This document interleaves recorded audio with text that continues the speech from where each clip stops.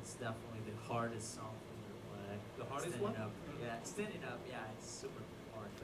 这首曲子是他站着弹的时候最难的。Two more questions and then the last one.